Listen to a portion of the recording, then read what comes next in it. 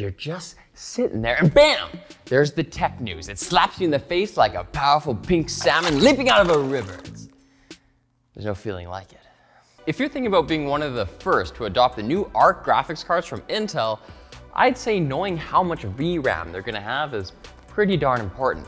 And now Team Blue has confirmed how much to expect. 16 gigabytes on the A770 and 8 gigs on the more mid-range A750. Notice how I said more mid-range? They're all pretty mid. Although the memory is gonna be run-of-the-mill GDDR6 on both models, it is good to see the A770 getting a full 16 gigs, as it's become increasingly common in recent years for games to push up against VRAM limits as textures and other visual assets take up more and more space.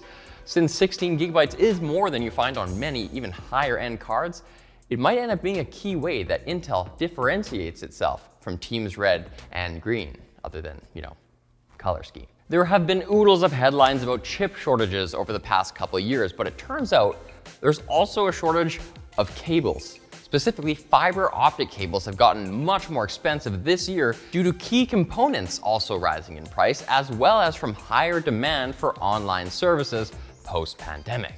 We're all at home, right? Of course, this comes at a pretty lousy time considering that big tech has been trying to lay more and more cables under the ocean, and mobile carriers are in need of fiber optics in order to build out 5G networks. While the fiber optic crunch, which sounds like a cereal I would buy, directly affects back-end infrastructure more than consumers, we'll have to keep our fingers crossed that the extra costs won't find their way down to us when we pay our internet bill. But I'm sure our corporate overlords would never do anything like that.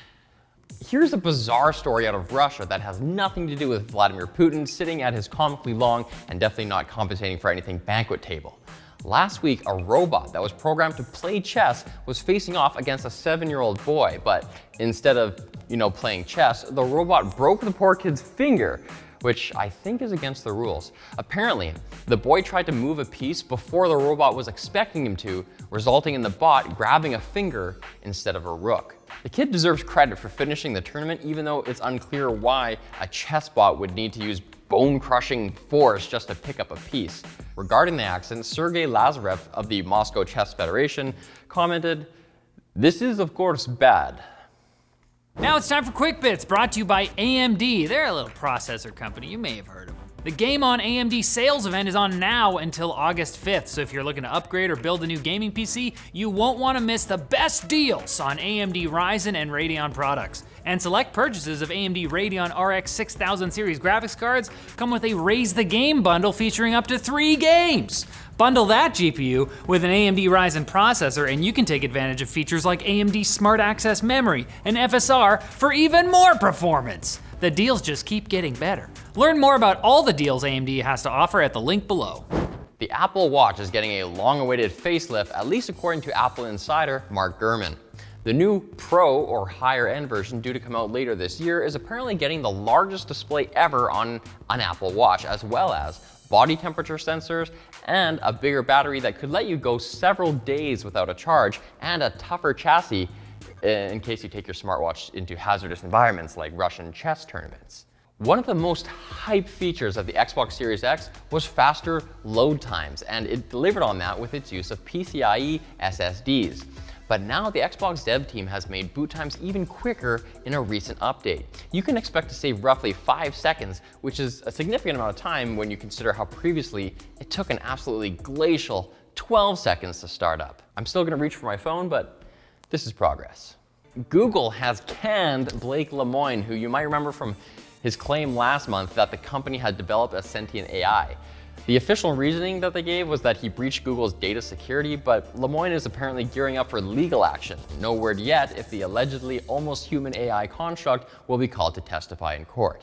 It appears we have a new challenger in the gaming monitor space, none other than ASRock who are much more well known for their motherboards. But the company has apparently registered a few models with a Korean government agency, and at least two of them have refresh rates in the triple digits, which makes sense if their focus is gonna be on gaming. We still don't know when they'll be available or in which countries, or if you'll be able to turn them on by jumping the pins with a screwdriver. And if you're a T-Mobile customer, you might have some free money headed your way as Team Magenta, can I call them that? Is paying around 350 million bucks to settle some class action suits regarding the theft of personal data of nearly 77 million customers. If you had them as your carrier in August of last year, keep an eye out for a check. But given how many people that money is going to, don't expect your windfall to cover much more than last month's data overages. That's our show. Come back Wednesday for more tech news. It's better than free money, baby.